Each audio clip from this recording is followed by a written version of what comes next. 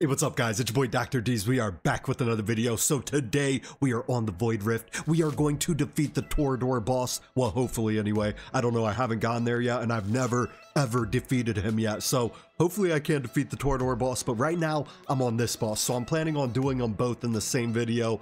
I'm on the boss for phase 2-3 and let me just say he was kicking my butt. But before we get started on this, um, I, I will go over this here in a second. But before we get started, I just want to say if you guys noticed how I have not been posting any videos, uh, it's because I came down with COVID. So, you know, it's been actually kicking my butt. It's been giving me the one-two barbecue. And you know, hey, I, I, tried to make this video yesterday, the day before. I just couldn't do it. I was sitting there like, uh, you know, I, I couldn't do it. So I was like, oh, you know what? Hopefully today I'm good enough. I do feel a lot better today. Uh, I still feel the effects. I'm not 100%, but uh, I, I, feel a lot better. Good enough to make this video. So let's start with this boss right here. All right, let's get right into it. So keep in mind, all attributes of the Star Piercers faction members increase by 30%. Since this week it is the Star Piercers that get the increase for Phase 2, that's crucial. And that's also very nice, mainly because it helps out my boy Silas. My boy absolutely starts clapping the booty cheeks of the boss. Let's go. Uh, so it's always nice when the Star Piercers faction is getting the buff um, I do believe this changes uh, weekly. I'm not, I'm not 100% on that though, but if it doesn't change, then excuse me. But just keep in mind, if it does change, then that might kind of that might change the lineup that you use. Not not this exact lineup that I'm using. It might it would probably change my lineup as well. But it's actually pretty good because the Star Piercers are getting the increase. I'll go over all their builds after. I still got to defeat Torodor uh, before the night ends, so you know I got a busy day ahead of me. But right now, since we're on this boss, um, let me let me just go ahead and jump right into the strategy. All right, guys, a pretty straightforward strategy. What we're going to do is we're going to lay down Brock here, the man, the myth, the legend. We're going to lay him down right over here. Basically, once he dies, he gets a second crack at life because he'll turn into a little ice cube. My vortex can heal him up, and then he gets a second go at it. So we lay down Brock here. Brock here is actually pretty important. Then we're going to lay down Micah. I wanted to do a guide for Micah. I did not get around to it, mainly because of COVID, but I will definitely do it later this week if as long as I'm feeling better. Uh, I do feel better today, but uh, still feeling the effects of the COVID right now. Uh, so just bear with me, guys. We're going to lay down Micah right there. Let's change it to two time, okay? Um, attention to detail is very important for this. All right, now we're going to lay down Vortex. Vortex right here. And then now we play the waiting game. All right, we're going to go ahead and lay down Edril. Lay her down right here. Boom, big boy starts going. Keep in mind, you want a magic damage nuker right here where Mike is at. Mainly because these big guys, they are heavy armored. You want someone that's a magic damage booty clapper to go ahead and take care of him. All right, right when he's in range, we're going to go ahead and pop lock and drop it. All right, then right when he's about to swing, Um, yeah, he's about to swing. We're going to go ahead and pop Brock here's ultimate. Um, oh shoot, I didn't lay these guys down. Gosh dang it. Wasn't paying attention. Come on, D's. Um, so normally we would, uh, normally we would have popped those earlier or dropped these guys earlier, but it's okay. Uh, it's all the same stuff. Yeah, yeah, look, we're, we're all there. Okay, now what we're going to do is we're going to go ahead and pop Dolores' ultimate, pop his ultimate, pop Edril's ultimate. Go ahead and let him go ham on the uh, on the boss right there. Um, so we want this guy to get. That's another reason why Edril's important because Edril's going to keep hitting him. We want him to get over here as fast as possible, as fast as possible. Mainly because I'll, I'll show you guys after. Um, so this guy does uh, the the boss. He does a a move where the move basically um it will throw down i think it's called eternal something but it throws down a block whenever there's uh our guy over here. So hang on hang on. Let me let me make sure i can do this without dying. Okay. Now we're going withdraw brock here. Get brock here out of there. Um then we're good to go basically. Now we got it defeated. Because when he all right this crimson plague Crimson Plague comes down, anyone that's on the ground floor is going to get the effects of this, and you can't lay anyone else down, so it puts a damper on things, right? Um, so very important to uh, basically destroy the big guy before uh before he does that Crimson Plague so you can withdraw your your uh, Brock here over there. But then yeah, Silas will do the rest. He'll go ahead and take care of it. Let's go. Um, so again, I'm, I'm trying to do the best explanation I can, uh, but you know, I'm, I'm a little, uh, I'm a little out of it, guys. so I'm gonna go ahead and withdraw uh, Silas, then um, let's go ahead and change to two times. So I do like how they give us time. They give us time to go ahead and get our guys back down on the field. You know, they're like, hey, we understand that, you know, the boss might have messed you guys up. So giving us a little bit of time. Um, okay. So he's coming out. Big boy right there.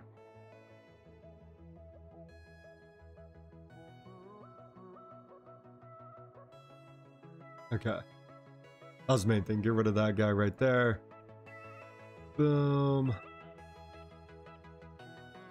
Oh, this mother. Okay, I completely forgot that this guy... You know what? I'm gonna use my Silas. Go ahead and get rid of him. Okay, cool, cool, cool.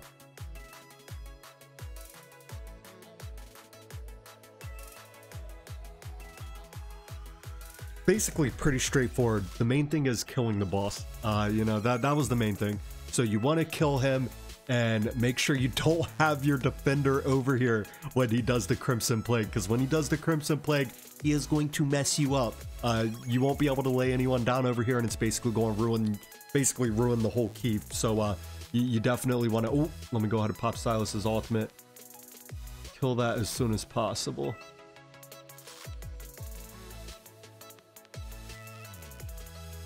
Yeah, it's it's. I mean, I don't even have to try after the boss is dead. Uh, you know. Nothing to it. Nothing to it, guys. That is how we defeat this uh, this boss. And and uh, let's go ahead and let me get the Torodor. Then I'll do I'll do the Torodor display, and then I'll show you guys how I have everyone built out. It's probably going to be nighttime by the time I beat Torodor, but uh, Hopefully I can beat him fast. I'll be right back. All right, guys, and now we are on the man, the myth, the legend. We have Torodor, ladies and gentlemen. So originally I defeated him with Silas, um, but I was like, you know what, that's a little too easy. And a lot of you guys don't have Silas, so I was like, let me switch out the strategy right quick. Let me see if I can come up with something even better. So I'm actually using our girl Micah, who we who I will be doing a guide for, but at the same time I'll be using Micah to put her on display since everybody gets a free crack at her. Um, but just know that when Torodor, you have to basically kill him twice. You take him down to 0% one time, and then he gains full health, he walks over, and then he basically goes in this like trance and sends out these mobs. You gotta kill the mobs, and then he starts coming in full force, and then you have to kill him a second time. But there's not really much to it. I'm going to show you guys how I did it. Um, just follow this simple strategy. These are the guys I used. I got Wrath, I got Lust, I got uh, Valeriya. Honestly, the only one that is irreplaceable in this is Valeriya. Uh, she's definitely the hard carry in this. Uh, I, I could even replace Micah. I just threw her in there. I made her basically take uh, Silas's position. Um, and originally, I was actually using uh, Olog instead of Abomination, but I was like, hey, you know what? I'll throw Abomination in there, make it look a little more interesting. But uh, uh, yeah, you, you don't have to have Abomination. I just threw him in there. Um, then, uh, okay, let, let, I'll show you guys how I did this. So let's go ahead and start it. All right, guys, not much to it. Let's go ahead and start with my guy Salazar. Oh, excuse me. We're going to lay him down right here. We're going to change it to two time. Maybe I should start with Abomination first. Uh, but then we pl place Abomination right by the portal. Um, Abomination has a move where when he takes a certain amount of damage or whatever the case might be, he doesn't take any damage for a short period of time gives him a little bit more survivability. So it's good to have Abomination right there, or maybe Olog or a tank or somebody a little tanky, right, that could take some hits. Um, okay, then what we're going to do is we're going to lay down Vortex. So this bottom side's covered, covered, all right? We're good to go.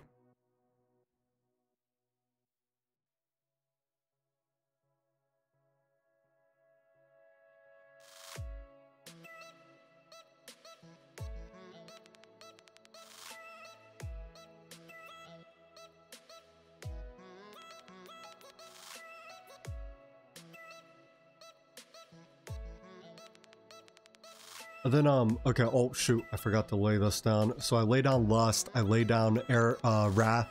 Keep in mind, I have Lust in the middle spot. We don't want her at the top spot where Wrath's at. We don't want her at the bottom spot. We want her in the middle spot, all right? So we put her in the middle spot. Um, honestly, you could use uh, someone other than Wrath. I mean, I, I could have used, uh, I, I don't know, um, a, a tank, a defender. A defender would be perfect right there uh, mainly because I have Lust right behind him. Lust is a booty clapper, uh, and, and, we'd be good to go. But um, here, let me. Okay, here I'm gonna go ahead and pop her ultimate, get a little bit going in. Um,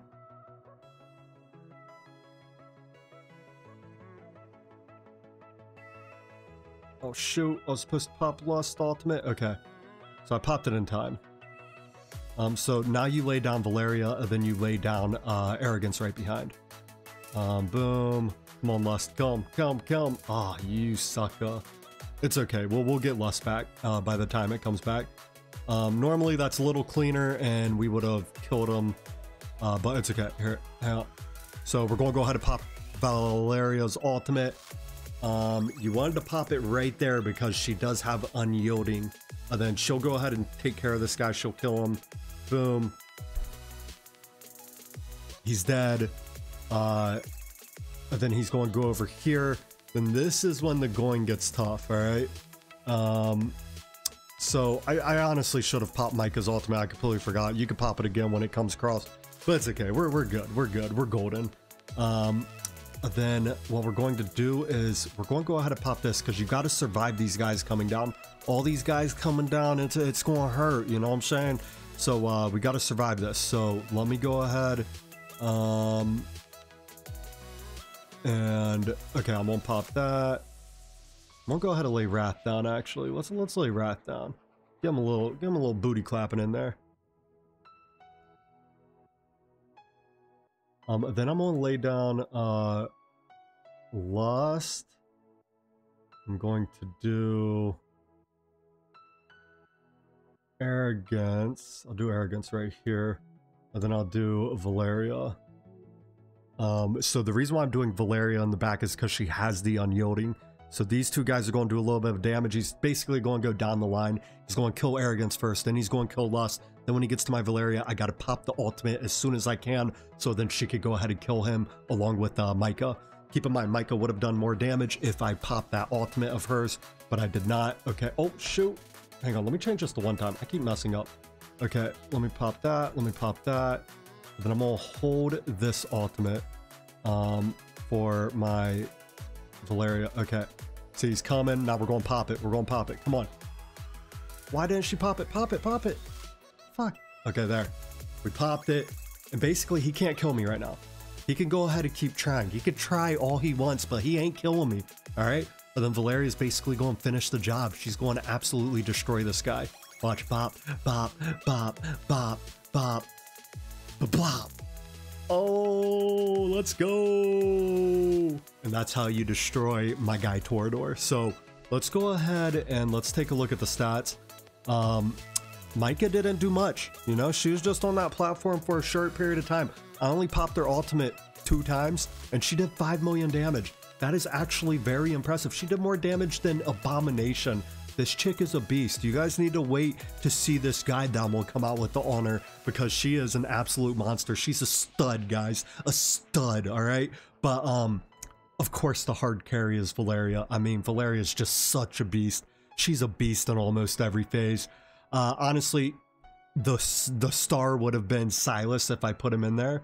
Uh, but I, I wanted to kind of switch it up because, you know, I don't think everyone wants to always see, oh, hey, uh, let's see another Dr. D strategy. Oh, yeah, Silas is going just go ahead and carry him through a strategy again. So I was like, you know what, let me switch it up. Like, I can't keep using Silas. He's the only cheat code I have, right? Uh, but I can't keep using him. So I was like, you know what, I switched up for you guys. I almost forgot to show you guys the builds, okay? So we got Silas right here. He's honestly in one of my best sets. We got him in the Infernal Roar. Uh, this is the best set for him, hands down, the best set. Um, he's an absolute stud muffin. All right. Uh, so the, this is the set I have. You know, bam, go ahead, read him and weep. Bam, bam, and bam. We got crit damage on the main, crit damage on the main, attack bonus on the main. then we have the Ancient Warlord set. I have this one, and I also have this one. Um, I wish the procs were a little bit better. When it's ancient gear, you expect a little more, but uh, it is what it is. They don't really bless your boy D's like that. Uh, but um, this is his stats. And then I also have the Spirit Siphon on my guy. Let's go. Uh, then on Arrogance, um, I actually swapped this around. So I normally I normally have Soulbound Arcana on him, but I had this one on Micah. She wasn't doing as much damage, so I swapped his gear with Micah's. Um, but this is the gear that I had on him for that run. Uh, so I did have the uh, Fracture set. Um, just read them and weep. Bam, bam, bam. I mean, beautiful pieces, beautiful pieces. And then I also have the Warlord set on him as well. We got that one, and we also have that one. Um, these were the stats on him. I mean, really good stats though. Look at that. Attack speed plus 326, crit rate plus 94, crit damage plus 224.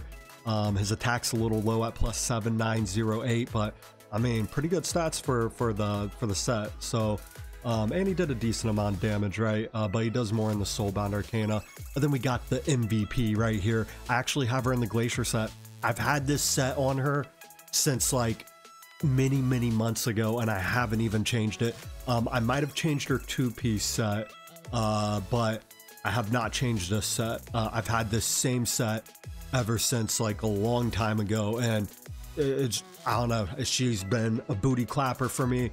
Um, I, of course, of course, I would like to get better sets, but uh, if I'm sticking with the Glacier, I barely do Gear Raid 2. So you know and when i do do gear raid 2 of course they don't give me anything worth a damn. So uh it's it's one of those things where uh glacier set's been working out perfectly perfectly. Um so uh that's basically how i have her built. Boom boom boom uh and then boom and boom. And then when we look at her stats uh her attack is a little low um, so I need to increase her attack. I need to increase her attack speed, and I also need to get her crit rate to 100%. But uh, you know, her crit damage, I could do a little bit more on that too. But she's still a booty clapper. You know, we got, we got some HP up in there, mainly because of this glacier set right here. So, uh, you know, gives her a little bit of survivability, also gives her a little bit more attack, right? Um, but okay, let's see. Uh, the artifact I have, I have the Wailing Skull. But I mean, there isn't no set artifact for her for this run anyway. Uh, you, you could use almost anything, but this definitely does help her get a little bit more damage in. So that's the one that I have on her right now currently. Um, who else did I use for this? We got Lust. Lust, all right. Real basic set. We got the Night Terror. Night Terror actually works beautifully on her. Um, and I have decent procs on these guys. Look at that. Bam, bam, bam. I mean, not bad, right? Not bad. Um, then we also have the uh, the Annihilating Might, mainly because she was lacking on her crit damage a little bit, so I wanted to bring that up a little bit. Um, but bam and bam, I mean, look at that one. That's a beautiful piece right there. Uh, then her attack is a little low. It is. Her attack's a little low, but she makes up for it in her attack speed. 371. And then her crit rate is 95% with a good amount of crit damage at 199. Um, then I have her exclusive artifact. Um, yeah, yeah, the exclusive artifact definitely does wonders for my girl right there. Uh, let's see who else. I mean, I had Salazar, but uh, so I, I actually just have this for uh for um guild boss. Um, and guild boss, you you want him to do as many basic attacks as possible. So uh, that's the reason why I put this one on him to try and get him to do a little bit more basic attacks, so the guild boss would bleed more more often. Um, but uh, okay, so the gear I have Soulbound Arcana, uh, Read 'em and Weep. I don't have anything really fancy on him. Uh, bam, bam, bam. Uh, and then we have the Annihilating Might. I mean, you know, pretty basic. Uh, he has decent stats. His his attack speed is really low. Um, I'm trying to work on getting that better, but I just don't ever get any good Soulbound Arcana sets. It really sucks. I wish I wish I did. I keep spamming Gear Raid 3, uh, and they're not giving me anything. And when I do get something, it doesn't proc for anything. Like, you know, it's all in the blues. So it's not... Ah, this game can be really frustrating sometimes, but um, his attack speed's really low for what I'm trying to do. That's all another reason why I went with this artifact. Um, because I do run a bleed team for my uh, guild boss, so uh, I definitely want his attack speed to be higher, but I, I, don't know why I'm getting off track, but that's how I have him built out. Let's see who else we got. Uh, Next up, we got my girl Micah. I mean, this is my arrogance set, so just read them and weep crit damage. I'm not going to dive too deep into this because I am going to do a guide on her hopefully tomorrow. Uh, but we got crit damage on that one, attack bonus on that one, attack bonus on that one. We did the whirlwind, boom, boom, uh, read them and weep. Uh, and then we come down here to our artifact. I actually did Reaper's Emblem. Um, and then let's see what else. Who do we got? Who do we got? Um, I think that's it. I think that's it. Um, I did use Yovar. I have Idril's Gaze on him. And then I have, uh, have Infernal Roar set on him. Um, which honestly, Soulbound Arcana is way better. I just don't have that many Soulbound Arcana sets. Uh, I keep swapping them out. When I do use Yovar for something, I'll put them in a Soulbound Arcana set. But right now, I just, I, I honestly just have like three Soulbound Arcana sets that I just swap around to whoever needs it, right? Um, but for this run, I had them in the Infernal Roar set. Um, then, did I use Zilla I, I'm not. No, I didn't. I didn't. I didn't use Zilla Uh. Then we had Wrath. Um, Wrath, I actually had him in the Wisdom set. You know, trying to make him a little more wise. Uh, but bam, bam, and bam. Uh, and then we also have the Annihilating Might over here. Um, and these are his stats. These are his stats right here. Uh, then the artifact, I did Scarlet Hunt, which did absolutely nothing for him. Um, but that's okay. That's okay. But yeah, that basically covers everybody. I hope you guys uh, got something out of this video and I hope to help somebody out there. But that's all I got for tonight's video. You guys have a great rest of your night and thank you for making it to the end.